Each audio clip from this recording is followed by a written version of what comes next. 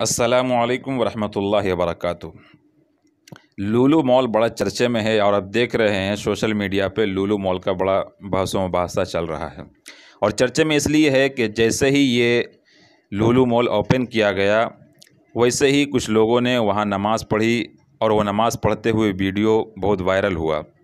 कुछ गोदी media social media के तवाइफ मुसलमानों पे तंज करने लगे, मुसलमानों पे उंगलियाँ उठाने लगे और कुछ आतंकवादी गठन, संगठन कहिए, ये लोग भी पहुँच गए कि हम भी चाहते हैं कि ये किया जाए, वो किया जाए, हनुमान चालीसा पढ़ा जाए। बहरहाल, सब कुछ हुआ और देखा।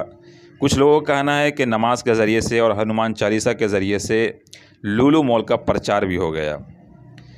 मेरा कहना ये कि प्रचार के लिए तो योगी आदित्यनाथ जी गए थे, इतना ही काफ़ी था। बहरहाल, किसी का कुछ कहना है, किसी का कुछ कहना है। लेकिन मैं ये पूछना चाहता हूँ कि क्या आज जो लिस्ट आया है कि नमाज़ पढ़ने वाले, ये कोई मुल्ला जी नहीं, बल्कि पंडित थे, सारे के सारे पंडित लोग नज़र आ रहे हैं तो क्या इनके ऊपर वो सारे धाराएँ लगेंगी जो एक मुस्लिम के ऊपर लगा दिया जाता है यू पी एन ए वगैरह?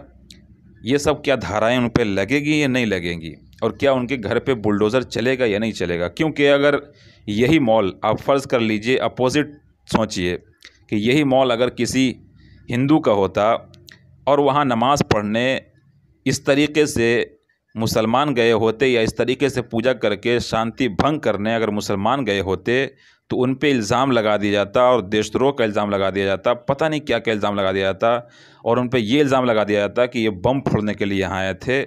लेकिन चूँकि ये इनके औलाद हैं, ये इनकी नस्लों से हैं और ये हरामखोर लोग हैं, इन पे कुछ नहीं होगा। जो कुछ होना है मुसलमानों पे होगा और सब कुछ मुसलमानों पे ही किया जाता है। ये बहुत बड़े अफसोस की बात है। और मुझे ताज्जुब होता है कि ऐसे लोग आराम से घूमते हैं और ऐसे फितना फसाद फैलाते रहते हैं। तो ये फितना फसाद जो फैला रहे थे, ये चाह रहे थे कि झगड़ा हो, मार हो, दंगा हो, शांति भंग करना चाह रहे थे, इनके घर पे ऊपर भी क्या बुलडोज़र चलेगा या नहीं चलेगा? और इनके ऊपर तो सख्त से सख्त कार्रवाई होनी चाहिए और मैं अपील करता हूँ सरकार से इनके ऊपर सख्त से सख्त कार्रवाई की जाए। क्योंकि इस्लाम तो कहता है, कुरान तो कहता है कि वल फितना तो अशद मिनल कत्ल। कि ये फितना फैलाना चाह रहे थे और फितना जो है कत्ल करने से ज़्यादा सख्त है। यानी एक आदमी कोई कत्ल करता है और एक फितना फैलाता है तो फितना फैलाने वाला ये सबसे ज़्यादा बड़ा मुजरिम है कत्ल करने वाले से भी ज़्यादा। और ये क्यों है? और ये फितना फसाद मचाना, ये बड़ा जुर्म की, क्यों है? कत्ल से ज़्यादा बड़ा। वो इसलिए है कि आप समझे बात को कि जो आदमी फितना फैला रहा था, कि अगर वो इंसान की वजह से फितना फैलता तो एक नहीं, बल्कि दोनों तरफ़ के मुस्लिम और नॉन मुस्लिम हर एक वहाँ पे कत्ल किए जाते और मार धार करते तो जिसकी वजह से बहुत सारों की जाने जाती। लेकिन अगर कत्ल करने वाला किसी का कत्ल करे तो वो सिर्फ़ एक आदमी का कत्ल करेगा। लेकिन ये फितना फैलाने वाला, जब फितना फैलाएगा, जैसे कि फितना फैलाने की कोशिश की गई मॉल के अंदर तो इस तरीके से हिंदू मुस्लिम करके बहुत सारों की जानें जा सकती थी। इसीलिए कहा गया है कि अलफ़ितनत अशद मिनल कत्ल, कि फ़ितना जो है कत्ल करने से ज़्यादा सख्त है।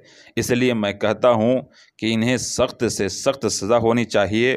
और ये मुल्ला बनकर पंडित जी नमाज़ पढ़ने वाले निकले हैं। इन्हें तो और डबल सज़ा मिलनी चाहिए, क्योंकि ये दूसरे धर्म को बदनाम करना चाह रहे हैं।